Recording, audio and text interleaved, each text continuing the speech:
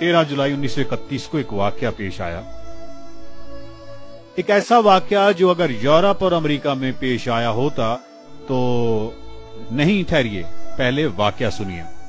13 जुलाई 1931 को बहुत बड़ी तादाद में कश्मीरी श्रीनगर सेंट्रल जेल के सामने जमा हुए।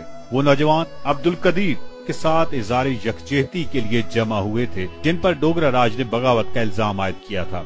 इस दौरान नमाज़ का वक्त हुआ इज्तमा में से एक कश्मीरी उठा और अजान देने लगा।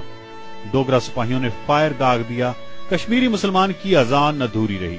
एक और कश्मीरी उठा और जहाँ से पहले कश्मीरी ने शहादत की वजह से सिलसिला तोड़ा था, उसने वहीं से जोड़ा। उसको भी शहीद कर दिया गया।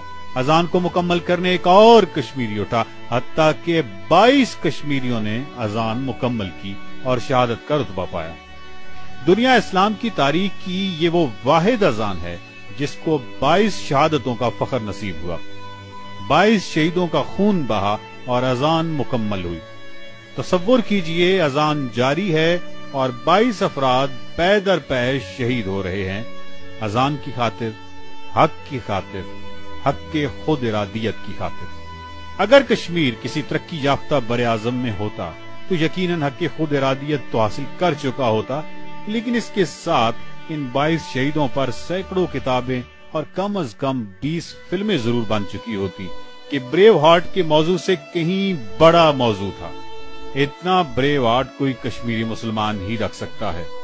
दुनिया में जबर और मजाहमत के खूरेज वाकयात में ये 22 शहीद और एक अजान सरे फहरिस्त रहेंगे।